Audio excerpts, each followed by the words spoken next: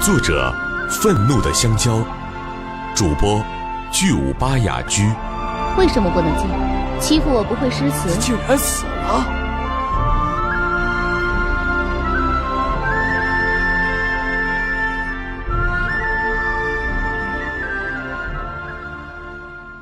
欢迎继续收听《赘婿》第二百七十章下。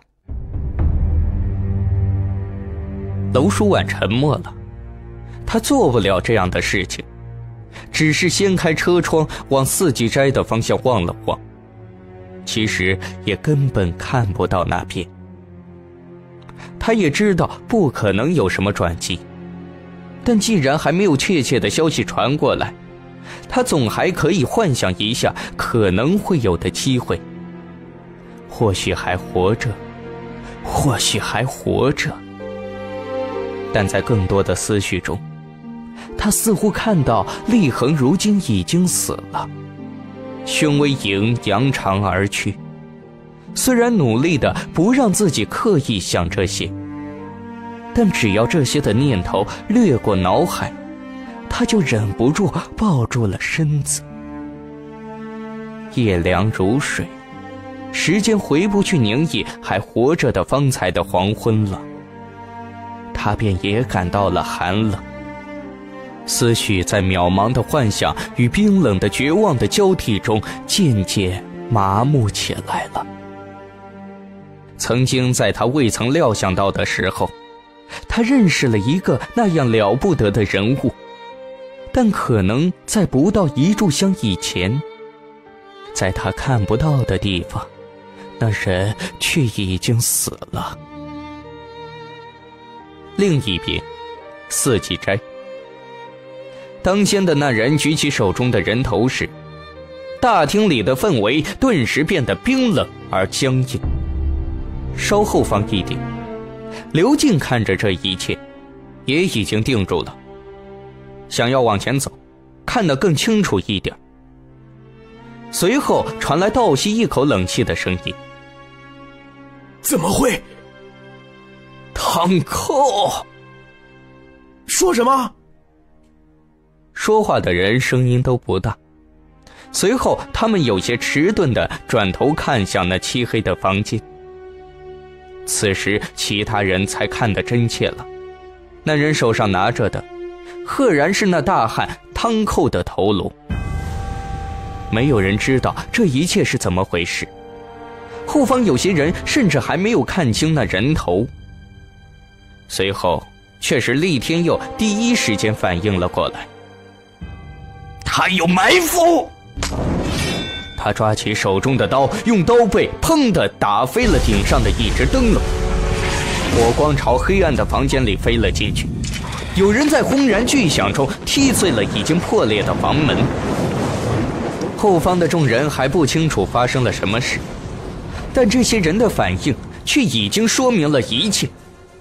厉天佑这边的人疯狂的往那边房间冲了过去，抓住人！他有帮手埋伏，那汉子竟然死了！宁公子，把人杀了！众人的窃窃私语中。也是一片错愕。刘静看了看后方，又看看那边的人头。也就在此时，房间里轰的一声巨响，光芒亮起一瞬，几乎所有人都吓到。光芒消失之后，有人在里面缓缓地晃了晃手中火折子的光点，点亮了灯盏。他此时的语气也没有了方才的冷硬。变得有些轻松了。我赢了吧？厉天佑等人此时没有理会他。有人打穿了房间的墙壁，冲进另一个小包间里。宁毅一手持刀，一手拿火铳，从那房间里走出来了。随后擦了擦脸上的血渍。厉天佑双手死死的握住拳头，看着那房间里。汤寇倒下的无头尸体，没有说话，随后只是狠狠一句：“搜，把他的同伙给我找出来。”宁毅没有为此争论或反驳，他虽然看起来受伤不重，但其实已经颇为狼狈，只是还保持着基本的风度。他看了看刘静，走到一旁的桌边坐下来。整个二楼一时间一片混乱，众人是笃定他杀不了汤寇的。汤寇死时也没有传出火冲的声音，之前他把周围弄得一片漆黑，肯定是有同伙埋伏其中。但若厉天佑找不到这人，眼下这哑巴亏他就吃定了。到得此时，他身上才有了几分文人的气质。只要没有证据，旁人在道理上终究是争不过他的。旁边的众人一时间议论纷纷，都觉得他是靠帮手杀掉了汤寇。但相比起厉天佑带着大队人马的气势汹汹，宁毅这边不过区区三人，就让厉天佑输得无话可说，又没有被人找出破绽，这一手。在大家看来，就实在漂亮。也就在这混乱中，一个大家未曾关注的小插曲，此时也正在楼下发生。朱延林方才就下去处理这事儿了，大家看这边战况激烈，也未曾在意。就在士兵们恨不得拆了整个四季斋而搜查的时候，厉天又回过头来。目光血红的望着宁毅，但还没说话，一个声音从楼下传了上来：“天下风云出我辈，一入江湖岁月催。”那声音是朱延林的，他大概是在读一首诗，声音不大，但由于此时已是夜间。四季斋也是空旷，楼上的众人还是听到了。厉天佑愣了一愣，随后大家看见一名幕僚匆匆从楼上下来，附在厉天佑耳边说了些什么。如果是方才有人在楼下，或许就会注意到，刚才在门口，有一名抱着一口长箱子。长得十分精致的女子，与守在这里的士兵发生了冲突。朱延林随后下来了，大家争吵间，那女子说道：“这里不是开文会吗？为什么不能进？欺负我不会诗词，我也会的，写给你们看呢。”然后那女子在门口的木台上歪歪扭扭的写了一首诗。朱延林就念了出来。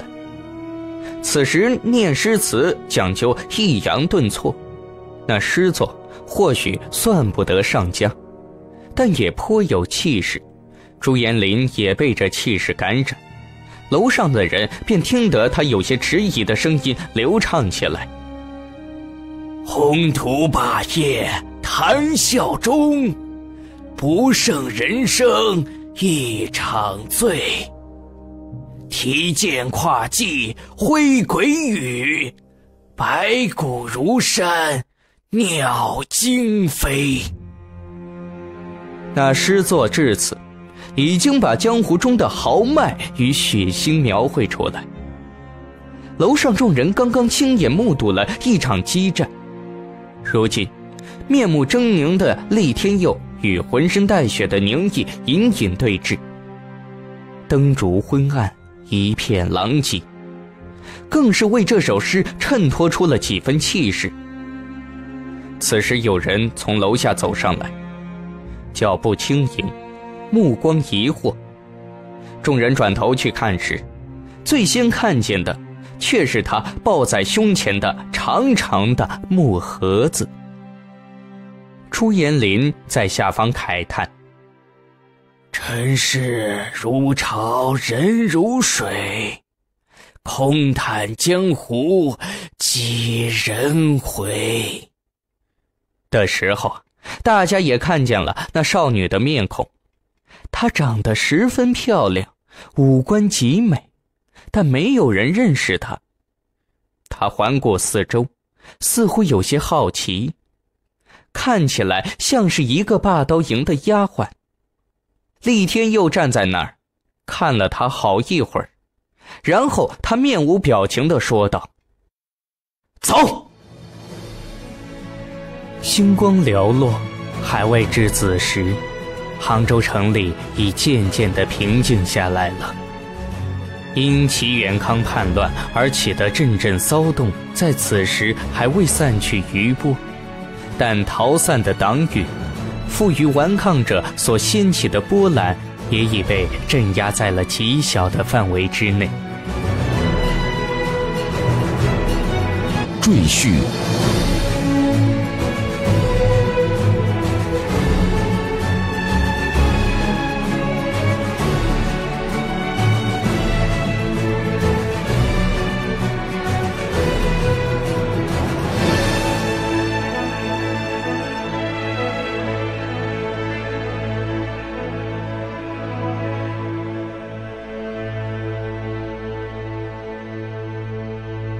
城内的灯火绝大部分都已熄灭，但偶尔仍有士兵走过街道，也有极少数还未曾回家的人匆匆往回赶。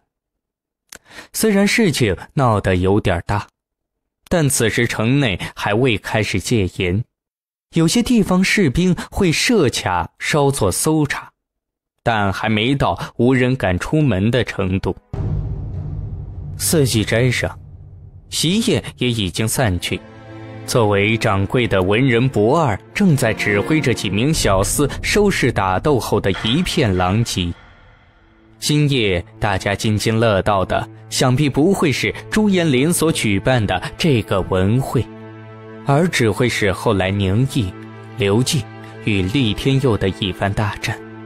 而其后那个抱着盒子的女子上了楼。厉天佑竟然就此率众退走，这一幕给众人带来了颇多的疑惑。不过那女子随后也抱着盒子离开，楼中的文会也就到此为止了。随后过来的大夫开始救治刘瑾，为宁毅包扎，几个霸刀营的人也进来收拾残局。由于在杭州城内。与霸刀营打过交道的人不算多，大家对进来的这批人还是有些陌生的，顶多知道霸刀营经营着木料方面的生意，但此时也攀不上交情，当下便向朱延林拱手告辞。在这些文人看来，霸刀营来了人。吃了个哑巴亏的厉天润自知纠缠无益，只好退走。如果是在方腊军中关系深一点、地位高一点的，则会想到一些其他的事情，譬如那位过来只露了一面便走的女子到底是谁？朱延林就曾怀疑，这名忽然出现的女子，就是那神秘的刘大彪本人。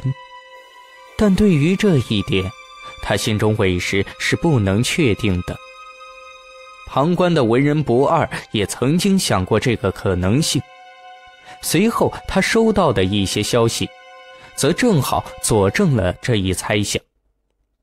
今夜那场忽如其来的叛乱，雷声大雨点小，只能说无论参知政事齐元康此前是否真有反意。这次都是上面首先制定好了对付他的计划，他随后才被迫做出最后的反抗。而抵定今夜乱局的是刘大彪麾下的霸刀营，虽然霸刀营只有八百人，却属于方腊手下的中坚力量之一，只是一向低调，并未涉足方腊军的政治中枢。也很难估计这支军队的分量，不难猜测，一开始对付齐元康的计划遭到了霸刀营的反对，但在最后，刘大彪还是迫不得已的同意了。他首先遣人往齐元康所盘踞的街区送过去了一首诗，这首诗与后来楼上那名女子所写的恰恰吻合，名叫。笑傲江湖。天下风云出我辈，一入江湖岁月催。宏图霸业谈笑中，不胜人生一场醉。提剑跨骑挥鬼雨，白骨如山鸟惊飞。尘世如潮人如水，空叹江湖几人回。欲知后事如何，欢迎继续收听《赘婿》第二百七十一章。